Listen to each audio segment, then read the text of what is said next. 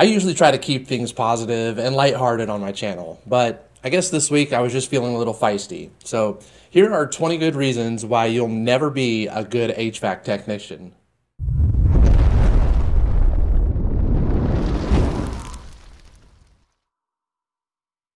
There are several reasons why you'll never be a good technician, but there are many of you great technicians out there that know even more reasons why technicians never fully make it. Let me know in the comments below what some of the other reasons are, and feel free to trash talk me back if I'm wrong on any of these. A good HVAC technician must have the hands on skills of a mechanic, electrician, pipe fitter, welder, plumber, fabricator, duct mechanic, insulator, rigger, analyst, electronics technician, chemist, computer programmer, computer technician, millwright, and a machinist. Number one, in my opinion, NATE certification is a money grab. But if you won't continuously train yourself to try to learn more, you'll never be a good technician.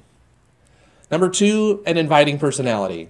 If you can't hold your head up high and flash a little smile here and there, if people are afraid to talk to you or feel like something's wrong with you while you're making the repair or installing a system, you'll never be looked at as a well rounded technician. Number three, you won't read the instructions. Someone who installs a system or replaces a control board without reading the instructions, creating a callback for something that they could have easily prevented, will never be considered a great technician. RTFM, read the fucking manual. It's not just a newly created text term.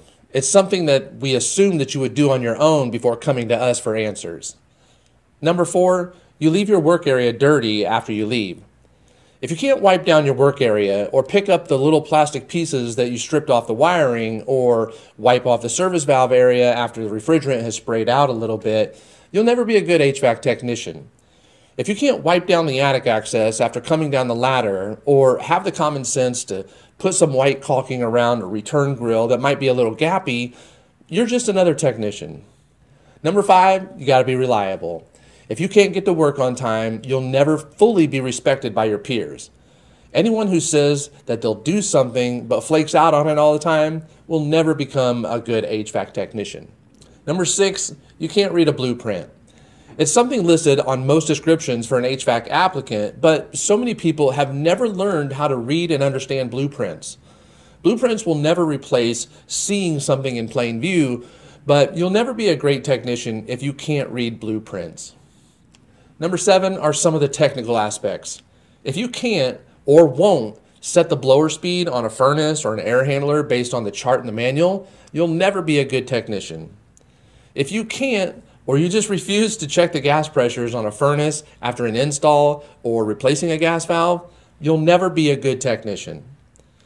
Number eight, if you can't run a duct properly, if you can't run a duct and pull it tight in a straight line with long, smooth bends or your ductwork sags after you've installed it, you'll never be a good install tech. Number nine, you got to have patience. HVAC techs who blow through service calls to get to the end of their day quicker to make more commissions lack the patience that they need to step back after repair and look at what they've done. It's like those cars who weave in and out of traffic to get to their off ramp 15 seconds faster all the while putting others in the back of their mind because they need to be somewhere else. Number 10, you borrow tools all the time. If you're a new technician in the field, you should be buying at least one new tool for your arsenal every paycheck. It doesn't have to be new tools. eBay and flea markets are great places to pick up new tools for yourself. On the other hand, if you've been a tech for a while and you keep borrowing this or that tool from your partners on the job, you probably aren't looked at as a good HVAC technician. Number 11, integrity. If you were raised to freely deceive people based on your needs, and if you don't care about lying to people so that you can pad your own wallet, you might replace a lot of parts or sell a lot more systems than me, but you'll never be a good tech in my eyes. Number 12, you won't embrace change. Some people don't like new technology or they're afraid of screwing up to try to repair new technology, so they avoid it. If you don't understand or you just won't embrace the fact that technology is going to get more technical every few years exponentially, You may be a good technician now, but you'll eventually be replaced by someone who does and is ready to dive right in now. Number 13, you jump to conclusions. Some technicians can't focus on the sequence of operations for the system, so they just repair what usually needs to be fixed on their new unit. A good technician can evaluate the system based on what's supposed to happen, repair it, and make sure the system runs right after it's going again. Number 14, you talk too much. People who talk too much are annoying. It's not good to be the person that's always running their mouth on the job. Talking about how good it was at the last place they worked at, or bragging about this and that. There's even those guys who always have to one up another person's story so that they'll look cooler, uh, and those guys never get the respect of an HVAC technician. If an employee is trying to show you how they want something done, take a little advice. Zip it and listen before opening your mouth. Learning a little social grace will go a long way towards being well liked and considered a good technician. Number 15, you don't talk enough. There's a fine line to walk when it comes to communicating. You're damned if you do sometimes, and you're damned if you don't. If you never ask a question or you don't respond to people who talk to you, you're not talking enough. In my opinion, text messaging is so easy. If someone texts you a question or some information regarding work, responding to them with an okay or no problem will go a long way. But if you don't talk enough, you'll never be a good technician. Number 16, you're a parts changer. This goes hand in hand with other items on the list, but parts changers are not good technicians. Knowing the sequence of operations and how the system is supposed to work is key to becoming a technician who can identify problems and repair the problem in as few visits as possible. I totally get it. Every technician has identified the wrong repair needed at one time or another. Everyone makes mistakes.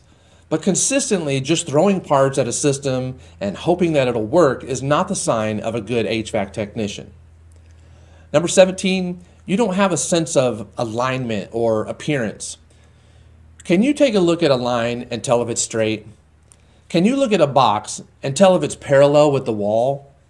Can you use a level how about this? Can you tell if a job looks clean rather than just something that's just thrown in? Little things like applying primer neatly and facing PVC lettering away from the viewer, uh, they're all really good practices to use. And that these things are the ones that will set a good tech apart from the bad one. If you can't grasp the concept of uniformity and a common sense installation practices like making your lines flow straight and your conduit run smoothly, you'll never be a good HVAC technician. Number 18, you write like a five year old and you don't know how to spell. If you can't write your service notes on an invoice neatly and write up the estimate for your customer in legible print, it's going to be hard to take you seriously. If you won't proofread your typed up invoices or estimates, it's going to look bad, and people are going to think that you're a sloppy tech. Number 19, you don't like to be told how to do something somebody else's way. You can't come into a new workplace and expect to be able to do things the way you've always done it. If you wanted that, you should have just stayed at your old job. That's why companies like to hire brand new technicians sometimes because they come in with an open mind, ready to learn. Those who don't like to be told what to do will never be viewed as a good HVAC technician. And number 20, your service van looks dirty. Some might say that a sparkling clean van, inside and out, probably isn't used enough. On the opposite end of the spectrum, a van that is consistently thrashed inside and filthy on the outside indicates a sloppy technician who doesn't care about his work. There's always a middle ground for everything, though. HVAC technicians work hard, but if you can't take the time out of your day to keep your van looking decent, you'll never be looked at as a competent HVAC technician. Well, these are just 20 reasons, and I could come up with so many more, and I know that you can too why technicians never realize their full potential. Let me know what you think in the comments below, how you feel about this list. And if you feel like doing a little bit of trash talking, I'm fine with that as well. I promise to come back next week, lighthearted and positive. I guess just this week I was feeling a little feisty about some things that I had on my mind. So, anyways, uh, if this is your first time watching our channel, please click subscribe down here on the bottom right. And if you click that little bell next to it, you'll be notified of all of our videos as they come out. Thanks so much for watching, and we'll see you on the next video. You're watching Fox Family Heating and Air. Don't forget to subscribe. And check out more of our videos by clicking on the right side of the screen.